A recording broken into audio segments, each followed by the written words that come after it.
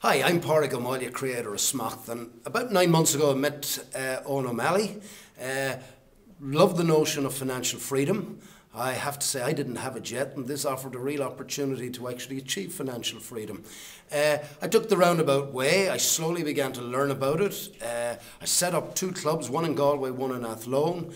And tonight, I've got to say, which is the 15th of March, we have actually been trading for two months, and I, am absolutely thrilled that we've made 6% as a club in one month. Now, just put it into perspective. If you put your money into a credit union, you'd be lucky to get 3% in one year. Now, what we have a group have achieved in one month is 6%.